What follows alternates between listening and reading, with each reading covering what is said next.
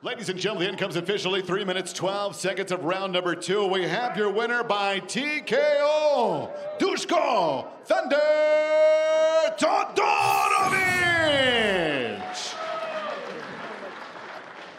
I'm here with your winner, Duško Todorović. First of all, congratulations.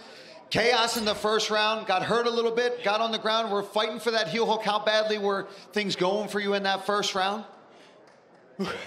Take a breath. Go ahead. You earned it. Uh, I won't say I was hurt, but I was feeling that he was being able to defend my attacks. So I just tried to, you know, weather the storm and come back stronger in the second. Yeah.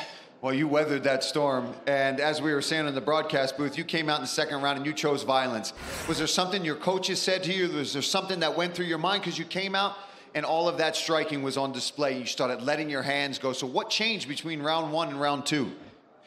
Uh, as I said in previous interviews that I had uh, coming to this fight, I never had a coach, head coach here in Vegas, and I think it showed the, the difference just having him in my corner and giving the all the, the right advices. Yeah.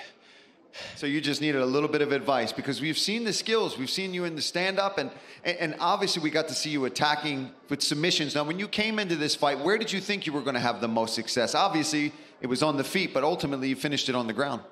Yeah, we definitely planned on finishing fight on the feet, but I knew even if we go to the ground, I knew it wasn't it wasn't going to be easy.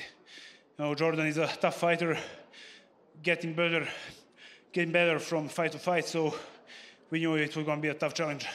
Well, it was a tough challenge, and you passed it with flying colors. Congratulations again, Duško Todorović, ladies and gentlemen.